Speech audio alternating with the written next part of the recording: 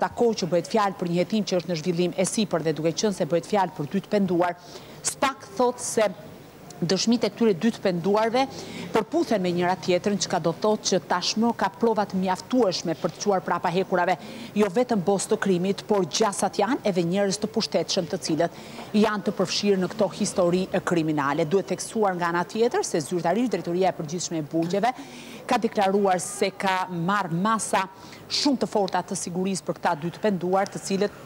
janë të përfshirë në ngjarje të rënda kriminale dhe rrezikojnë të çojnë prapa hekurave shumë personazhe. E për këtë shkak garancia për të ruajtur, pra siguria për të ruajtur jetën e tyre është mjaft e lartë, se në cilin paraburgim mbahen Nuredin Dumani dhe Henrik Hoxhaj nuk bëhet e qartë, sepse sipas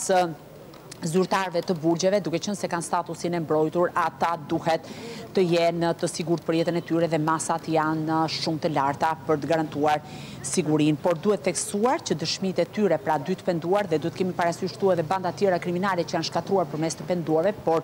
për faktin se Nuredin Dumani ishte ndër njerëzit më të shumëkërkuar dhe dyshohej edhe më herët që ka marrë pjesë në ngjarje shumë të rënda dhe që kishte lidhje direkte me urdhëruesit e këtyre krimeve, herë për interes apo herë të tjera për para apo herë të tjera për klering, duhet theksuar se në rastin konkret ka dhënë detaje të forta sa u përket ngjarjeve kriminale të ndodhura në qytete të ndryshme të vendit, e gjasat janë që kjo,